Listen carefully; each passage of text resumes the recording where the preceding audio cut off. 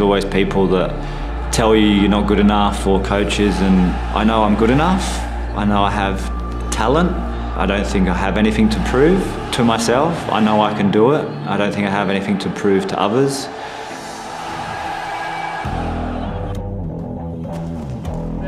He's always been focused on what he wants to achieve, and you only get there if you actually make sacrifices and you, you commit yourself to it. So, to be honest, I didn't expect anything less.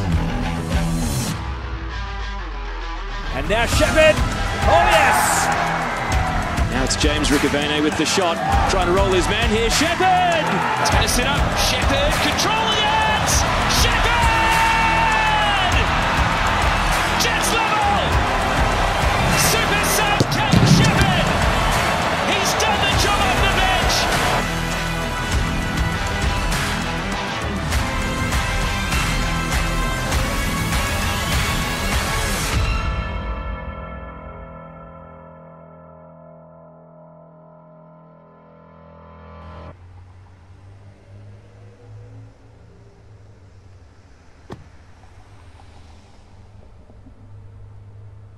Yeah, my parents and my brother have been, you know, there for me the whole time, and they've been amazing, and you know, I love them to bits. Um, they would drive me three or four times a week to wherever I needed to go, and they make sure I could get there.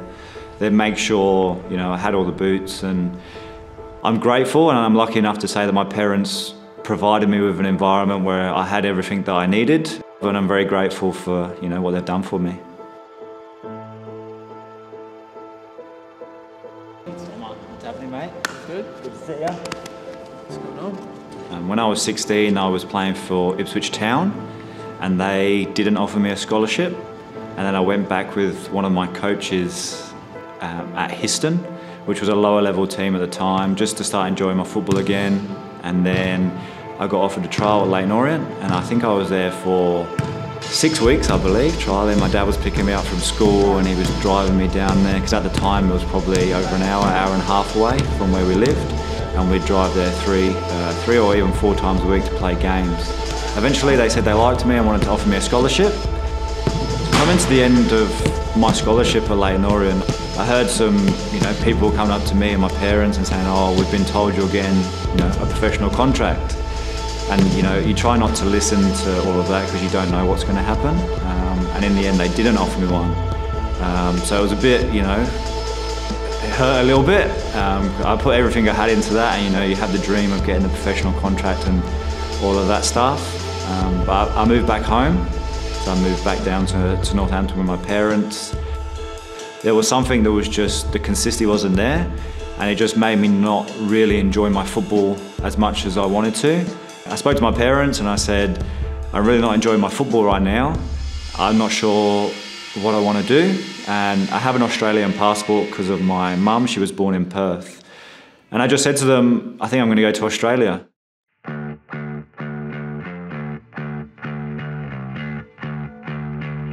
Our senior coach, George Katsakis, um, sent me a video and he said, Look, I think I've got someone special.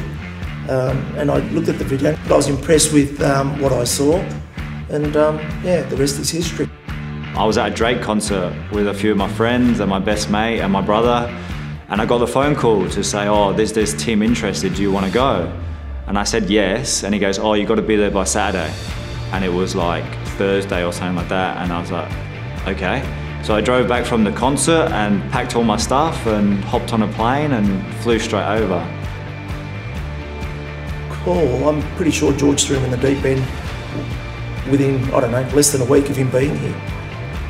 And one of the players the day before got injured and he was like, I'm going to play you because I need to, you know, field a team kind of thing. So I was straight in and I played really well. I didn't score that game, but I got an assist and just did really well. And from that day, I just played pretty much every game. Into the middle. Petrie is there. Lines one challenge. Now feeding the ball through. Here's Sheppard. Under pressure and shooting into the bottom left corner. It's 2 0 to Heidelberg after only eight minutes. Sheppard scores. Petrie with the assist.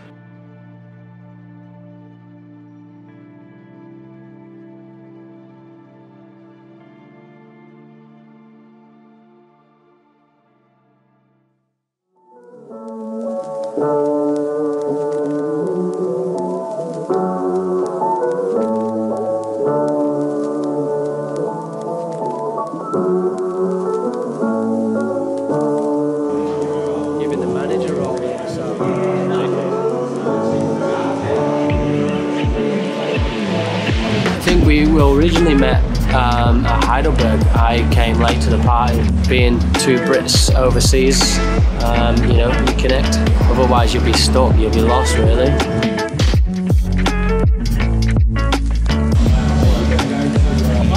Oh, look, I don't think personally, I don't think I've ever met someone so dedicated uh, to doing what they love, uh, really, you know. Football's ups and downs and some difficult mental battles as well, but Kaine seems to chug along with, you know, just putting that all behind and only looking forward, so yeah. You're not dedicated like Kaine, you have to think of two plan Bs. And that I'm the plan B, he's the plan A. so you have to think outside the box, and that's where I am today.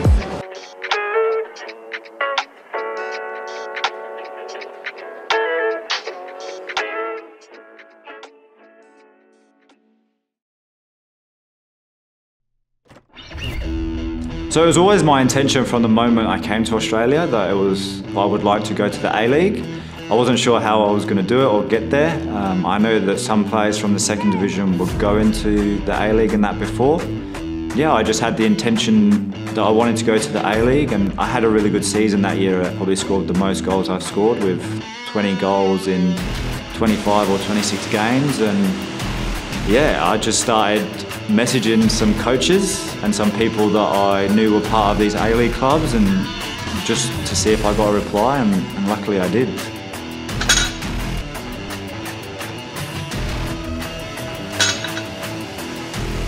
Yeah, putting pen to paper with Newcastle was really exciting. I was really proud of myself. Um, my family were obviously really excited. My partner was really excited. Moving up there, you know, was all good. And again, it all happened so fast. So I went up there and trialled for two weeks, and again I was straight into it. We were straight into the league, and I was on the bench, and it all happened pretty fast. He's always had been focused on what he wants to achieve, and you only get there if you actually make sacrifices and you and you you know you commit yourself to it. So to be honest, I didn't expect anything less. Behind Sheppard,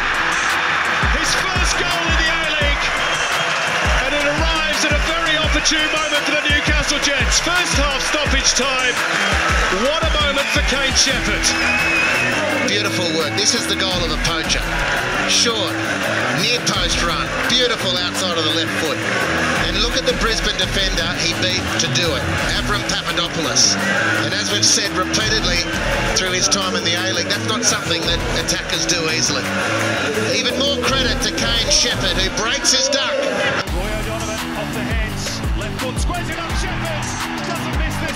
Forward and Roy O'Donovan, one touch forward, a little dink across the goal and good. Barely missed with his favoured left back. His third A-League goal. It's going to sit up. Sheppard, control the ends! Sheppard!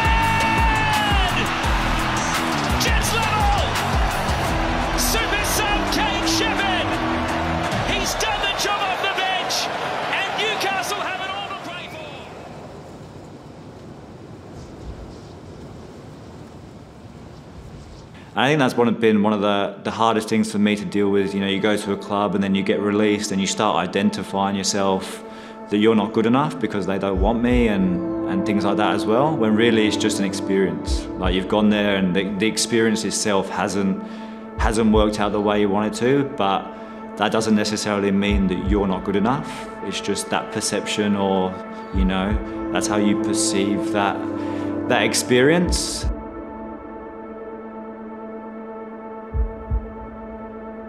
I know I'm good enough. I know I have talent. I don't think I have anything to prove to myself. I know I can do it. I don't think I have anything to prove to others.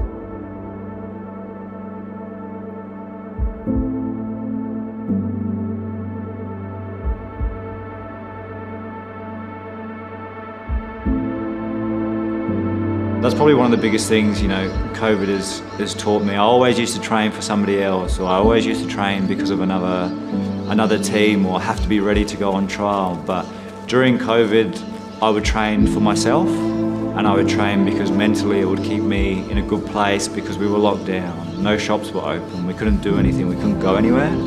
So I'd go to the pitch and I just enjoy being on the pitch because, you know, maybe take things for granted and during COVID we didn't and we wanted to do those things and even just going into the gym I wasn't training because you know I've got a trial in two weeks I was still being prepared for it because of the training I was doing but it wasn't like I have to be ready because of this. It was I was ready and I was just enjoying it because for my own mental health. And to do that was was really nice and it made a change and you know it was it was just nice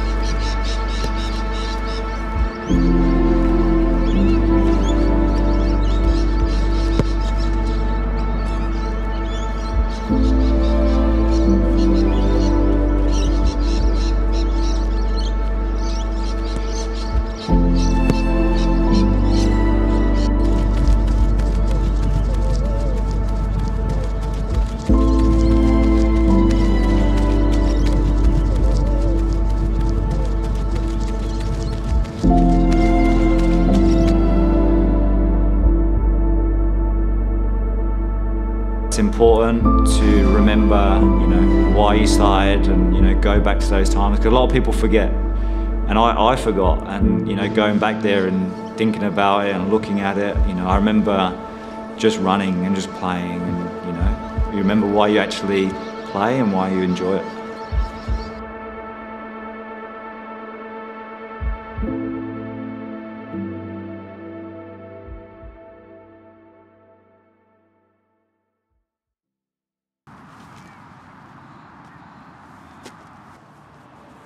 When I was at Newcastle, we had people come in and they talk to us about things outside of football, charity, all that stuff. And my brother has autism based in England and he used to come watch me play and I did some research and I wanted to be like an ambassador for, for a company. But they took a really long time to get back to me and in the end I was like, oh, I'm just going to start my own thing. So we just started and it's called the KS Foundation and we started doing sensory rooms. So our stadium, families could come in, they could go into a box and they could go out into the stand because autism sometimes affects them like sensory overload, so noises, light, all that stuff, too many people and things like that. So we just basically provided them a safe environment where they could watch it, go inside if they need to, which was really cool. And then we started some football clinics, so just so they could, you know, play, scoring goals pretty much, teaching them how to kick it in the goal and just have fun pretty much, and that's been really good. I started that in Newcastle, um, and the more that I've done it, the more that I've realised none of it's, it's about me. Yes, it's the KS Foundation because I started it, but it's none of it's about me. It's about the kids, it's about the families, and just seeing them enjoy themselves um, makes you really appreciate, you know, what you do and what you what you have, and how privileged we are to play in the A League or football in general. Um, so that's been really good and yeah, I've, I've loved every moment of it and like I said, the more I do it, the more I realise, you know, none of it's about me, it's, it's all, all about them. Yeah, Joe's been amazing. She's so supportive. She's always pushed me. She's always wanted me to, you know, strive for football and never let me give up and reminded me of why I wanted to do it and all that stuff. And yeah, I've been very lucky to to have her in my corner. Um, and yeah, she's she's been amazing. She's an amazing woman herself. She doesn't just tell me what I want to hear. She'll tell me as well, and she'll say, you know, you need to just basically buckle up and just get on with it sometimes as well. And it's not easy, and you know that's life. And sometimes she gives me that little hard nudge that I need as well. And she's not just like, oh, you know, it's okay and this and that. She'll tell me, nah, just get on with it kind of thing. But at the right time, she's been amazing. That's all I can all I can say really.